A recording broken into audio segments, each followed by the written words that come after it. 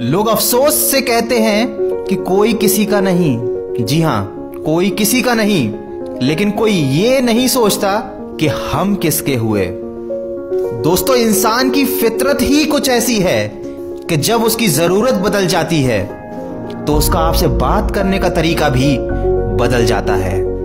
जब बात किसी की अच्छाई की चल रही हो तो सब खामोश रहते हैं। लेकिन चर्चा अगर किसी की बुराई का हो तो गूँगे भी बोल उठते हैं। किसी इंसान की फितरत को पहचानना नामुमकिन हो गया है, क्योंकि यहाँ लोग जरूरतों के हिसाब से अपने चेहरे बदलते हैं। अपने किए सौ गुनाहों पर पर्दे डालकर हर शख्स कहता है कि जमाना बड़ा खराब है।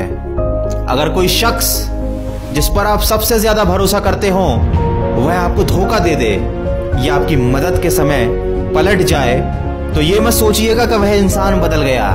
हकीकत तो यह है कि उसका नकाब उतर गया। दोस्तों, जब बुरा वक्त आता है तो ऐसे लोगों के नकाब उतरते हैं। तो ये बुरा वक्त बुरा नहीं है, ये अच्छा वक्त है, जिसने आपको आने वाले कल के लिए सचेत कर दिया।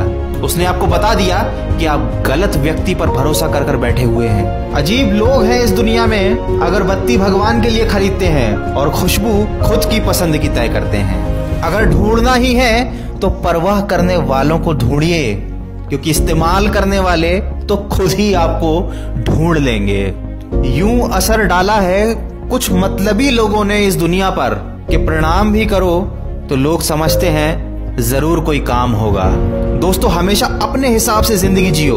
लोगों की सोच का क्या? वह तो समय समय पर बदलती है। चाय में मक्खी गिरे तो चाय फेंक देते हैं, और अगर घी में गिरे मक्खी तो मक्खी को फेंक देते हैं। लोगों का काम है कहना। सिर उठाकर चलोगे तो लोग कहेंगे कि अकड़ कर चल रहा है। सिर झुकाकर चलोगे तो लोग कहेंगे कि किसी की तरफ़ देखता तक नहीं। तो कभी ऐसे लोगों की फ़िक्र मत कीजिए। वो कीजिए जो आपकी मन की आवाज़ कहती है, क्योंकि दुनिया में हर चीज़ उठाई जा सकती है दोस्तों, सिवाय गिरी हुई सोच के। कचरे में फेंकी गई रोटियाँ रोज ये बयां करती हैं कि पेट भरते ही इंसान अपनी औकात भूल जाता है। पैरों की मोच और छोटी सोच हमें आगे बढ़ने नहीं देती। टूटी कलम और दूसरों से जलन हमें अपना भाग्य लिखने नहीं देती।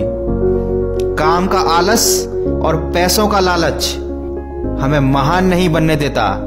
और अपना मज़हब ऊँचा और गैरों का मज़हब ऊँचा ये सोच कभी हमें एक इंसान बनने नहीं देती। ये ज़िंदगी भी बड़ी अजीब है। एक तरफ़ कहती है कि सब्र का फल मीठा होता है। वहीं दूसरी तरफ़ यह कहती है कि वक्त कभी किसी का इंतज़ार नहीं करता।